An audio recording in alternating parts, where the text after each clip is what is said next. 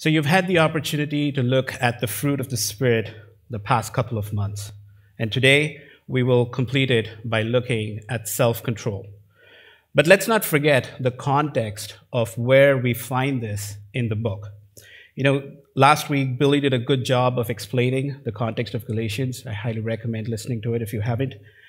But Galatians, Paul writes this letter to rebuke those who started believing that circumcision was required in addition to faith in Jesus to be saved. And by circumcision, the implication was that you had to keep the Mosaic law. But this was a fatal flaw according to Paul. And in Galatians 4, sorry, uh, Galatians chapter 5, verses 4 and 5, which should be on your screen here, we see that Paul says that you are severed from Christ if you seek to be justified by the law. You have fallen from grace. This is the central theme of the book of Galatians. It is not by law, but it is by grace. And in verse 5, Paul writes, For through the Spirit, by faith, we ourselves eagerly wait for the hope of righteousness. Our righteousness does not come from keeping the law, but through the Spirit, by faith in Jesus. This is what Paul has explained in the last four plus chapters. He has shown how the law is done away with because of what Jesus did and because of God's plan in how the law was supposed to be fulfilled in the life of Jesus and in his ministry. And then he also shows who we are in Christ. But now he turns. He turns to tell us, in light of all that, how are we supposed to live? And this is the place where we find the fruit of the Spirit listed. So let's read from Galatians 5 13 to 26. It's not on your screen, so if you can grab a Bible from the pew or if you have your own Bible, you can follow along. Galatians chapter 5, verses 13 to 26.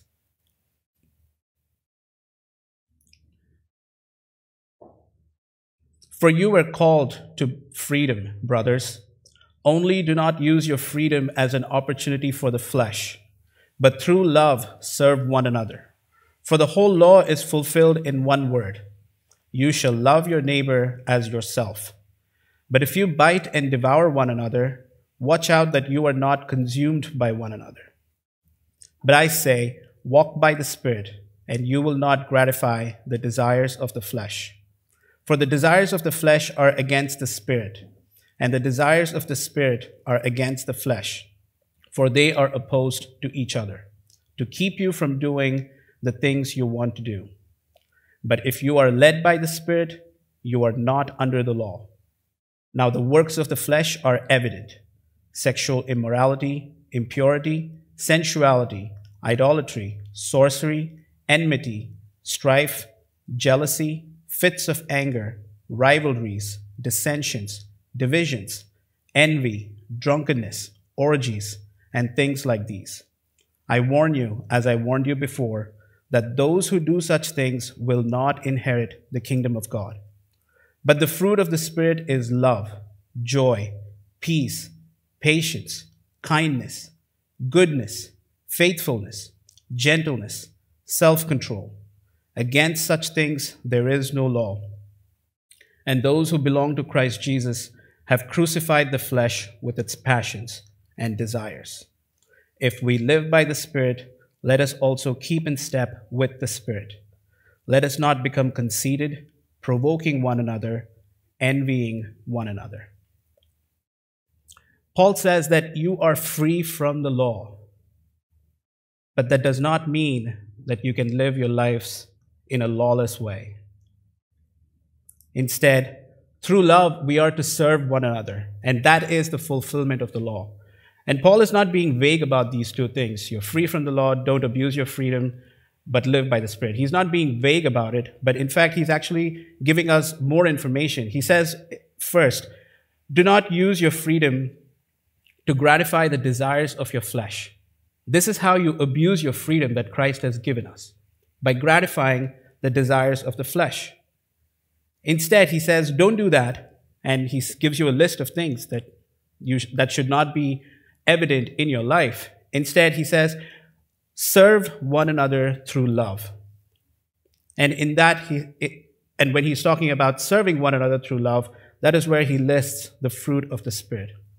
So basically, Paul is telling Galatians and us today, because of what Christ has done, and because of who we are in Christ, our lives should not be characterized by gratifying the desires of our flesh. Instead, it should be characterized by the fruit of the Spirit through love. I want to remind you that, the, that these are called the fruit of the Spirit.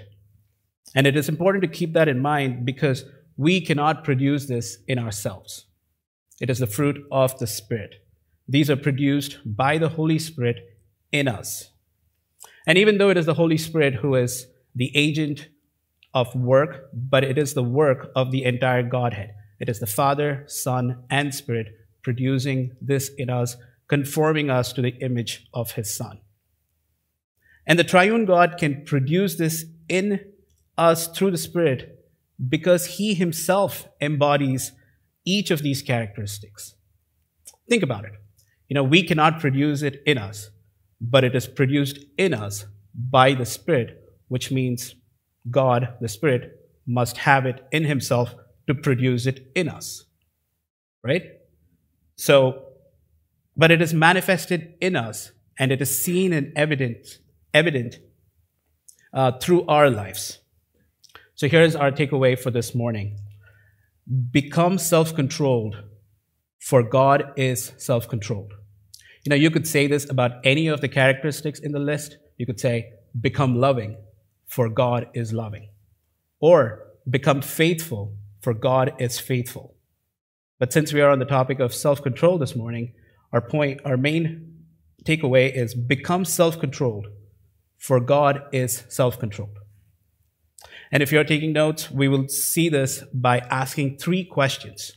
The first question What is self control? It is important to define it first, and we will do this biblically. Number two, question number two that we will ask is How is God self controlled? We said God possesses self control. How is it that he possesses self control? And we will also look at it through his word. And number three, we will see how we can become self controlled. What are the ways through which self control can be produced in our lives? So, number one, what is self control? You know, whenever we think of self control, we often conflate it with self denial.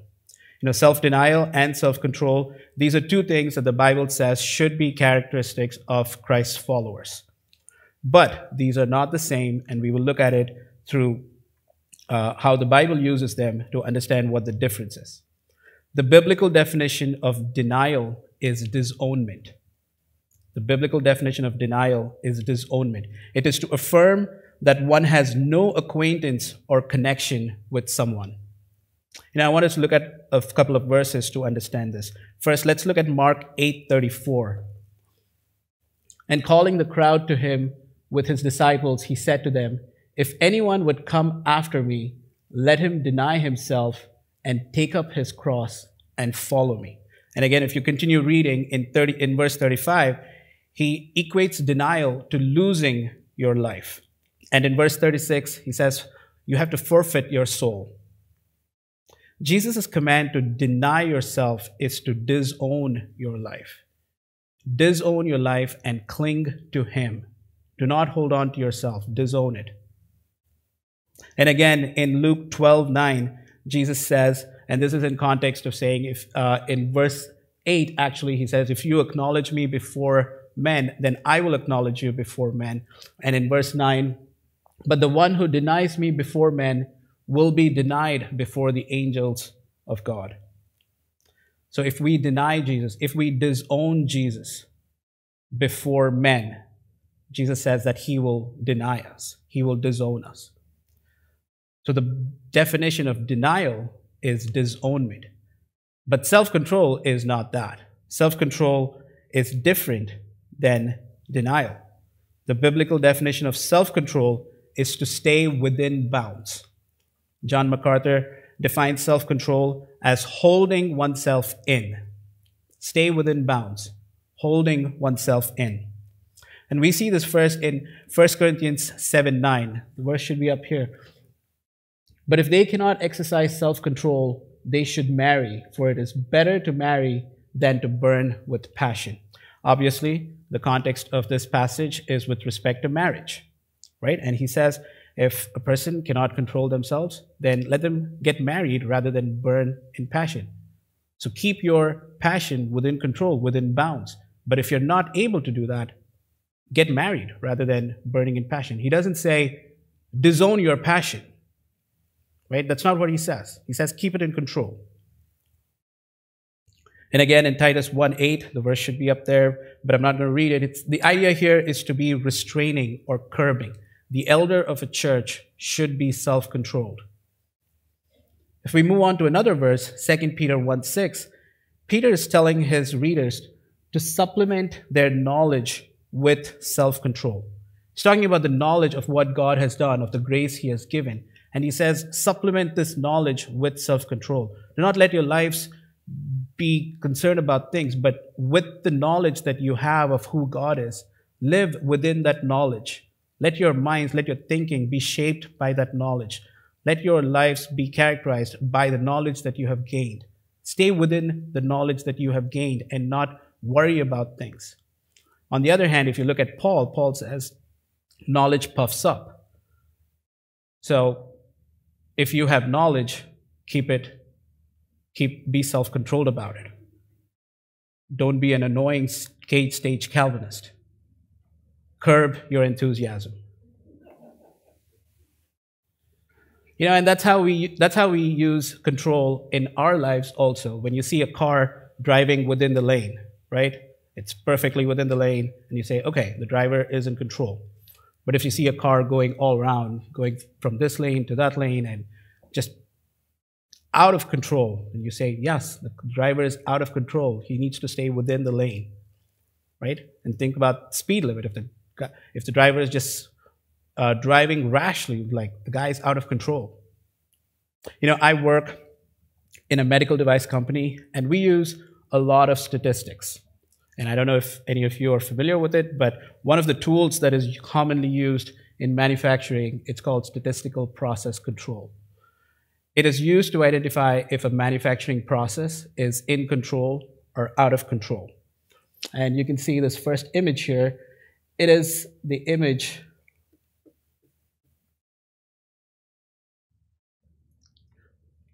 of a process that is in control. All right, maybe we don't have it. All right, so the process that is in control, every statistical process chart has an upper limit and a lower limit, right? So you have the upper control limit and the lower control limit. And if you see the data, if it falls within those limits, you're like, okay, the process is in control, you know? But if you start seeing the data going out of those limits, that's when you're like, oh, what's going on here? The process is out of control we need to do something about it. And that's where you start getting parts that don't meet what they're supposed to do. So even in corporate America, corporate world, we use limits to define what is in control and what is not in control. So the definition of self-control is staying within bounds. Now, can we take this definition of staying within bounds and apply it to God? Can we say God is self controlled? Essentially, we're saying we're putting limits on God. And that is a scary proposition. Which leads me to my next point how, or next question how is God self controlled?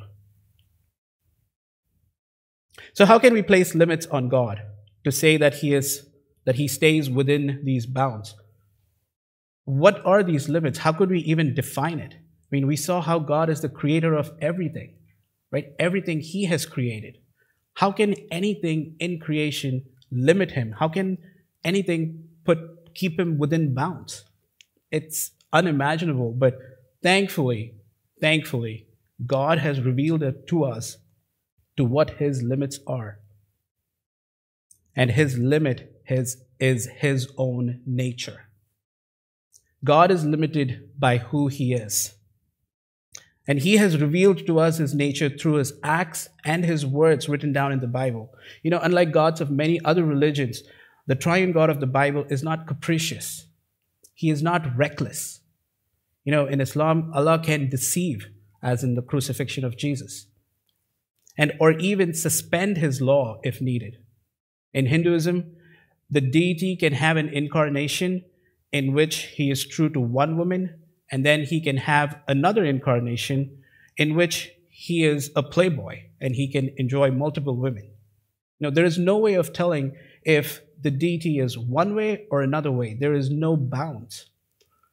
But the God who created the heavens and the earth, the only true God, he is always true to his nature.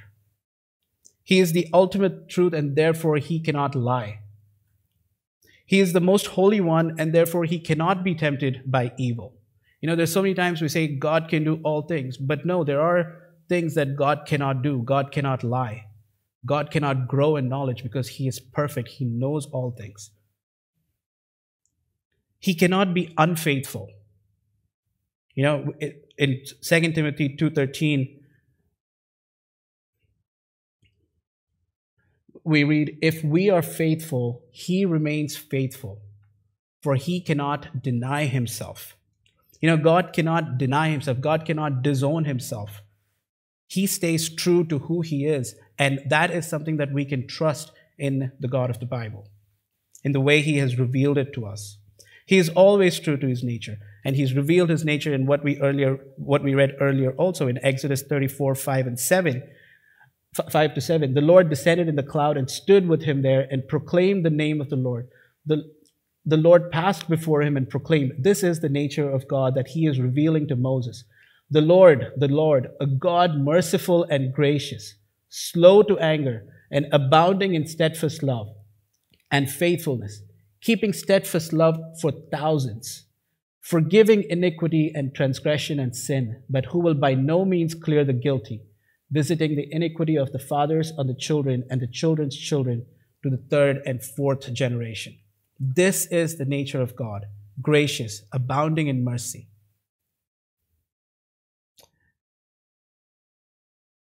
And he never changes. He is who he is, as he revealed to Moses.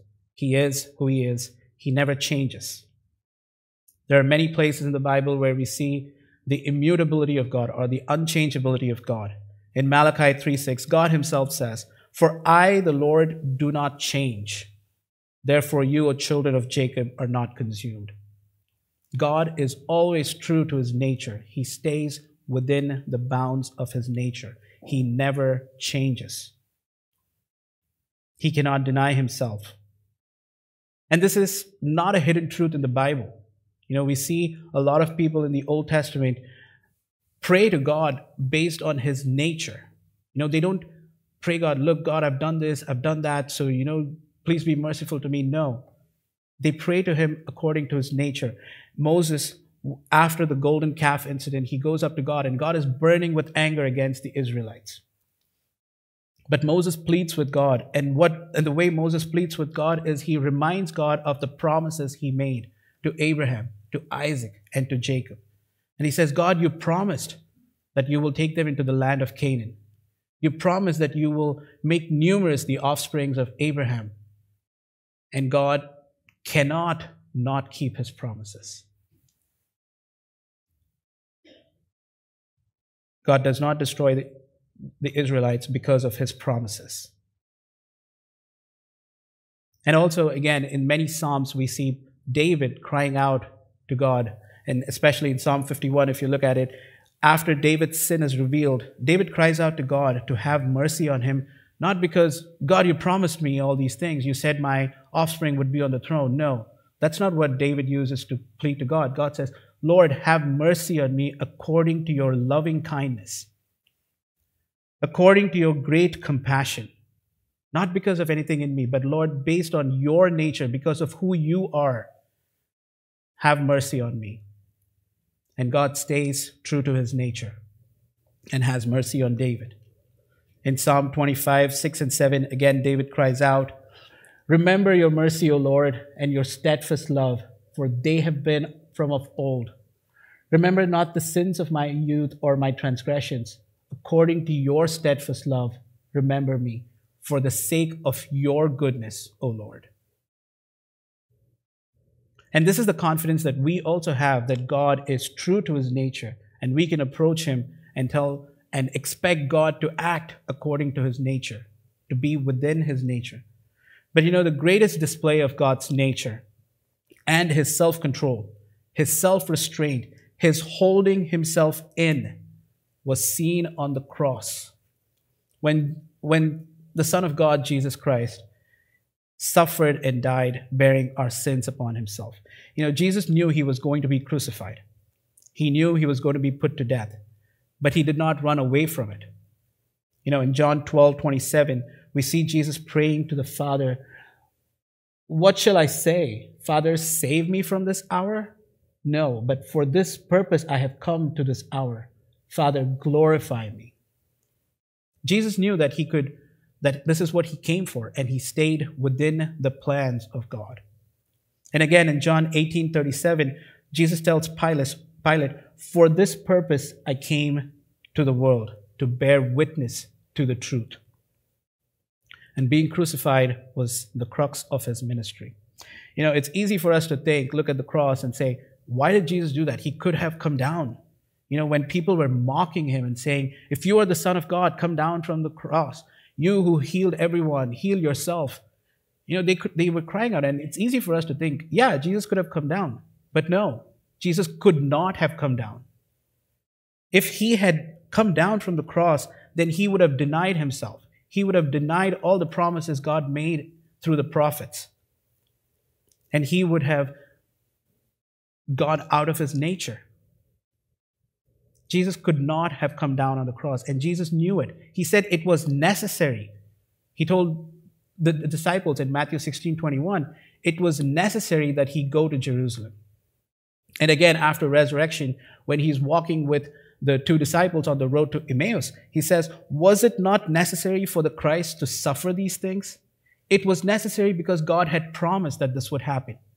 And God is true to his promises. He does not change, he does not deny himself. He is true to himself. You know, Peter, Satan, through Peter, tried to stop Jesus from going to the cross. Said, No, Jesus, you should, should not be that way. I will never let that happen. But Jesus rebuked him and said, No, get behind me, Satan. There is no way that God will not keep his promises he will stay true to his nature all the time.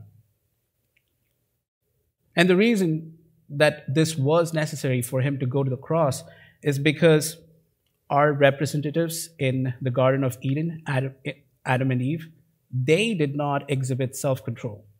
You know, God told them, you can do whatever, but don't eat of the don't eat the fruit of the tree of knowledge. God put a limit. Don't go beyond this. But they were not self controlled and they went beyond that limit and they ate of the tree. And consequently, they ended up in a state of non control. If you're not a Christian, we're glad that you're here this morning and or are listening to this message. The fact of the matter is that you can attest to this yourself that you are in a state of non control in your life. God has placed within us His limits, His law. And our consciences bear witness to the fact that we are out of His limits. You know, we have inherited the state of non control from our representatives, the sinful nature because of the fall. We have inherited that. And every desire of our heart is evil. We do not desire God or His ways. We are prone to gratify the desires of our flesh as Paul says. And because of this, we are eternally separated from God. But God did not leave us in that state of non control. He sent his son Jesus, being God who was rich in his love and mercy. He sent his son Jesus, who took on the form of human beings. And he was tempted in every way that we are.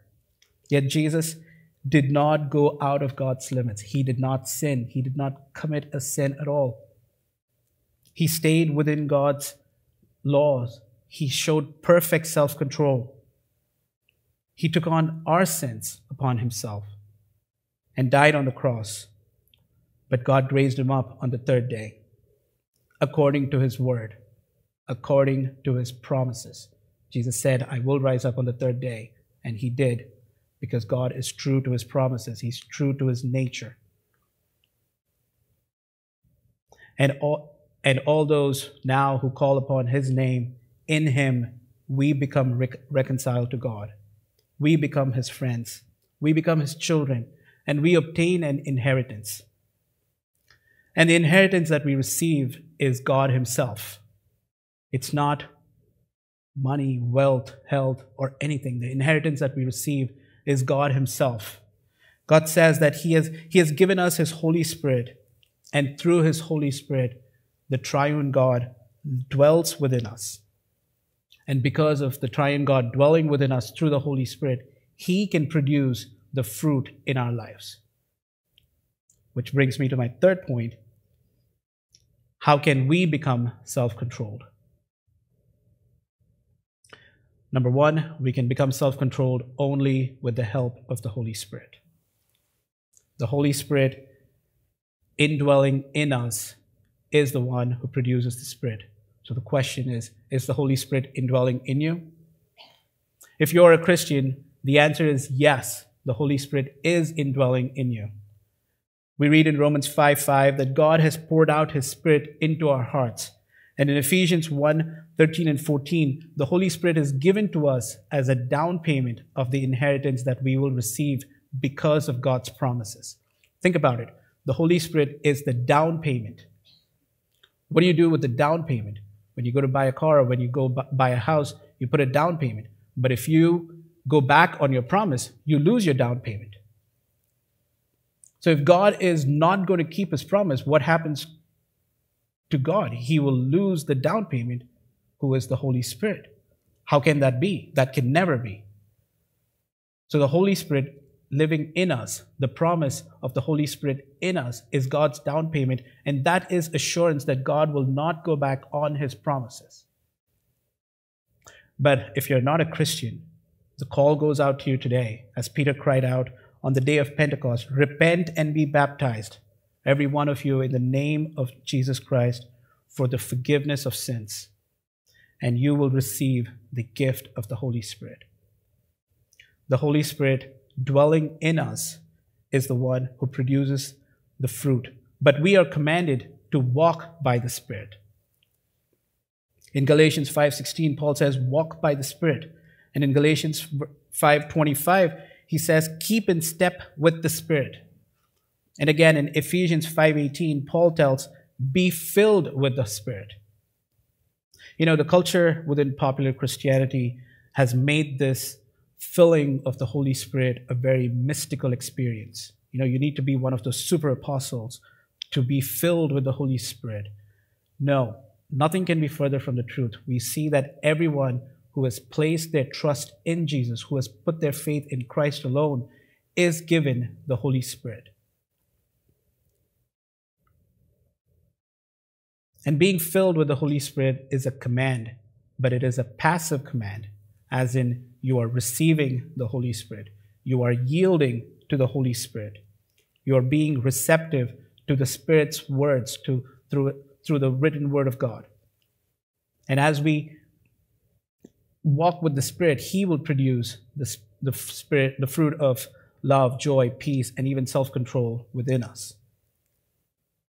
Number two, which uh, the way we can become self controlled is by putting to death the desires of our flesh.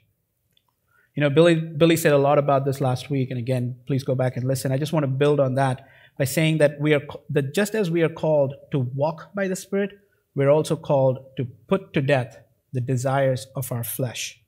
You know, in Romans 8:13, Paul tells us, "Put to death the deeds of the flesh by the Spirit." There is a classical book called The Mortification of Sin, which expounds more on this verse. If you haven't read it, please do read it. It's called the mortification of sin. And it gives you great detail on how you can, by the Spirit, put to death the deeds of the flesh. Another verse that gives us great instruction on, gratify, uh, on not gratifying the flesh is Romans 13 14. You know, it says, um, Put on the Lord Jesus Christ and make no provision for the flesh to gratify its desires. Other translations says, Make no plans for the flesh to gratify its desire. You know, this forces us to look at the plans that we make. What are our plans? Is the plans that we make to gratify the desires of our flesh? I've done that. I've done that many times. I planned to please my flesh. And a very simple example is to go binge out on a buffet. You know, we need to eat, but we're not called to be gluttonous. And I've made plans. I'm going to go to this place and I'm going to eat, eat to my heart's content. Amen. yeah. So, so think about the plans that you make. Think about the plans that you make. Are you making plans to gratify the desires of your flesh? Every day in our lives, what are the plans that we make? We're going to go to this place. We're going to talk to this person. This is how we're going to do it. How does all of our plans match up against what Paul tells make no provision for the flesh to gratify its desires. Instead, Paul also says in 1 Corinthians 10:31, whatever you do, whether you eat or drink or whatever you do, do it all for the glory of God. Check your plans to see if you're gratifying your flesh. And finally, to become self controlled, we need to have checks in our lives that will keep us within God's limits. You know, as we didn't see it, but in the statistical chart, you have an upper control limit and a lower control limit. And those are limits. And as long as you're within those limits, you are in a state of control. And it's the same thing for us as we walk our Christian life. We need to have limits within which we are supposed to live so that we are exhibiting and showing self control. What are these limits? The first one is obviously the Word of God. The Word of God is God's direct word spoken to us. And He tells us, This is what I want you to do. This is God's revealed will. So stay within the bounds of His will. Let's get immersed in the Bible. Let's have these markers in our life and let's know them as, jo- as uh, God told Joshua in Joshua 1 8. Remember the words of this book and do not depart from it to the left or to the right. No, and let's not just be hearers of the word, but let's also be doers of the word. Let's not just be readers of the word, but let's also be doers of the word. Let the word that we are reading, let the exhortations and uh, commands and all the warnings that we receive in the Bible, let that guide our lives. Let that be limits for us as we walk this Christian life. Number two, uh, be a part of the body of Christ. You know, we're not called to be Christians all by ourselves. No, God is saving a people. He has a plan. And the plan that He has is to unite us to His body. Become part of the body of Christ. Become a member of a Bible believing, gospel proclaiming church like this one. Where you can, ha- you can have brothers and sisters who will be those markers for you. They can see your life and they can encourage you or they can admonish you. If you are straying off the limits, they can admonish you. And that is what the body is supposed to do. They will build you up and they will grow with you. Number three, do not forsake the gathering of the body of Christ. This is a direct command from Hebrews. Do not forsake the body of Christ. If you are forsaking the gathering of the body of Christ, then obviously you are out of limits already because you're out of limits of what the Bible is telling us to do. But be here, be here on Sundays or whenever you meet, and encourage one another. Pray for your fellow members. You know, it's it's not easy going through this life, and we all need prayers. Right? Pray for those who are struggling. Pray for everybody in your church. If you have a church directly, pray through the directory. Pray for your fellow members. And finally, have an accountability partner in your life. You know, it's it, it seems like very old fashioned to have an accountability partner, but no, this world has so many temptations that just appeal to please our flesh. And, and we are so vulnerable because of the weakness of our flesh. Have an accountability partner whom you can call on when you are vulnerable, when you are weak, when you're being tempted, and you can call on them and they can pray with you and you can get with them and you can grow with them. Have an accountability partner. Have markers in your life so that you stay within control. And these are just few of them, but there could be others in your life, and you know what markers work for you and what, what don't. Now, get rid of the TV. Get rid of social media. You know, there's so many things that we can do in our lives to stay within what God wants us to be, to be loving, to be gentle, to be, uh, to be kind. You know, in conclusion, I want to say that Paul, again, is writing this letter to the Galatians, and he's writing against those who are advocating the works of the law in addition to faith in Jesus. And he has said, no, if you seek to be justified by the law, then you are severed from Christ. But Paul says that we can fulfill the law through love by serving one another.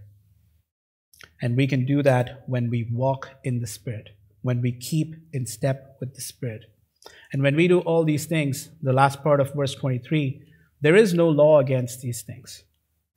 You know, we don't need a law because we, but because through the Spirit, we're walking in the, through the Spirit and we're walking in step with the Spirit. And by that, we will fulfill the law. And this is the fulfillment of the prophecies in the Old Testament where God told Moses, uh, or Moses prophesied, that God will restore his people and God will circumcise their hearts or Jeremiah, when he prophesies about the new covenant, and he says, The law will be written in their hearts, and there will be no longer any need to be for, for the law to be taught. And this is what happens when the Spirit dwells in us, when we yield to the Spirit, when we walk in step with the Spirit, when we do not gratify the desires of our flesh, when we look to God who is self controlled and we strive to be self controlled by walking according to His word, by keeping in step with the markers that He has given us. And I pray that this will be true of all of us as we walk our Christian lives.